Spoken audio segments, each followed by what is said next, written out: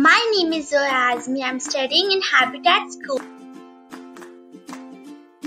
Today we will learn blue brain. What is a blue brain?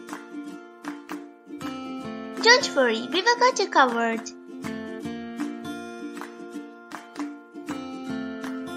Let's go to Scientist John to get information of the following things.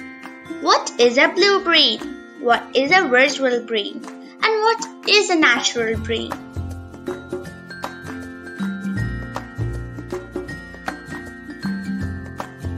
Hello sir, can I get some information of blue brain? Blue Brain is a project aimed by Henry Markram at EPFL by IBM Blue Gene supercomputer so that artificial brain can respond like a natural brain.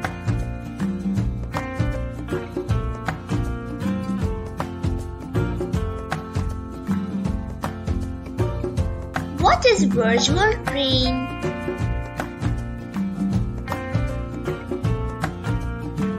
A virtual brain is artificial brain. It can think like a natural brain, even respond to.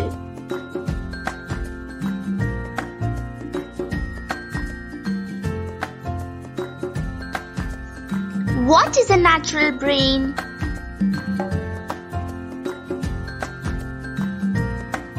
A natural brain helps the human body to understand, interpret, and do computer like calculations by magical nervous system.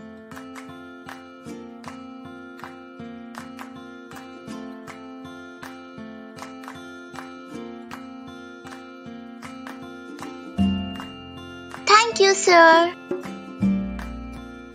Hope you all are clear.